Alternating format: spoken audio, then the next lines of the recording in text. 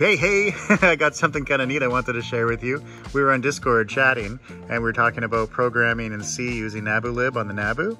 And we were talking about making a tic-tac-toe game. Then I had this idea, I thought, hey, what if I asked GPT to generate some code? So what I did is I pasted in the nabu.h, nabulib.h header file that I created. And I just asked it, can you write me a text-based X's and O's game? So all of the documentation is inside of the header file about all the different functions and how to initialize it and how it should work. So I was hoping that the GPT would be able to do most of it and figure most of it out. So it started spitting out some code, which actually looks pretty presentable. Now, I do apologize. I'm filming on my laptop because this was a spur of the moment thing. I'm not going to put together a nice, uh, well, not like my videos are very professional anyway, but so here's what's interesting about this. Um, as you go through and take a look, there's a few different things that they had done, or that GPT had done, which I found interesting.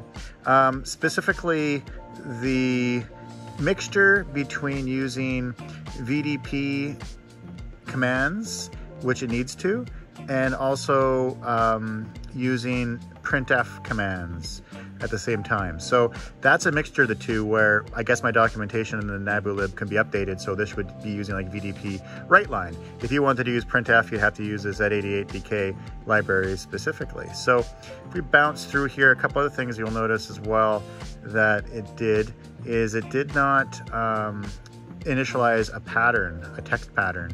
So where are we here? It's right here. We initialize text mode, but there's no pattern initialized. So this was gonna show a blank screen no matter what.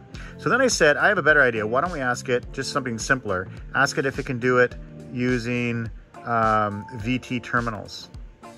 Now these are VT terminal commands, so VT52 or VT ADM3, which will position the cursor. So it generated some actually really great code and it ran the first time with no problems. Actually, everything ran. Now, the only issues that I ran into was the um, printf here. When you enter in your value, it tries to set the position for the cursor.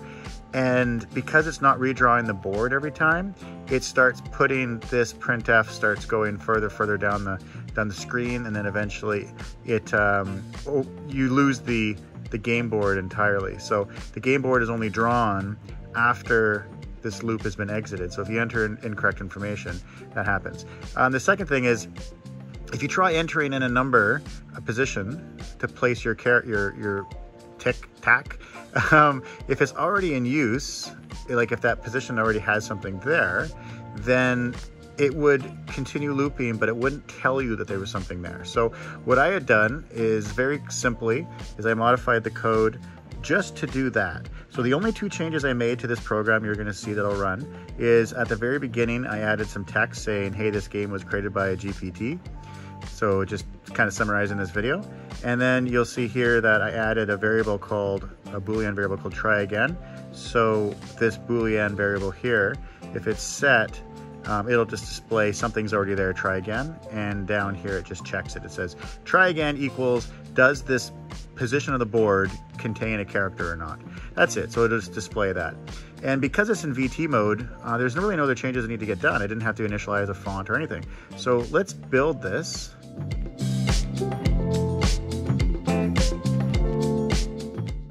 And then we'll just bounce up here to the emulator. And if I take a look on the drive, we'll see it here. So it's GP TAC toe you can see I've already ran it, so you know that it's gonna work. So this is just some information here about that I, I, wrote at the beginning of the program as you saw. And here's the program actually running. So enter in a row. So I'll type in one space one, and there's my tick.